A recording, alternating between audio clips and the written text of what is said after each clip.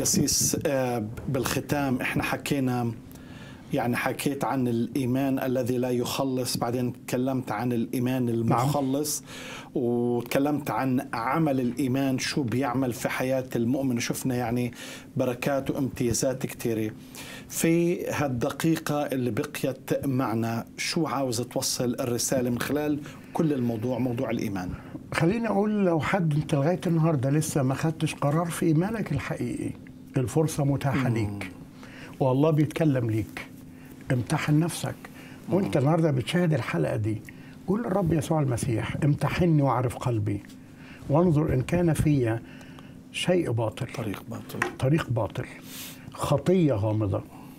أنا محتاج تكشف حقيقة قلبي. أنا محتاج أتغير وأقبل الإيمان اللي يغيرني وينور ذهني.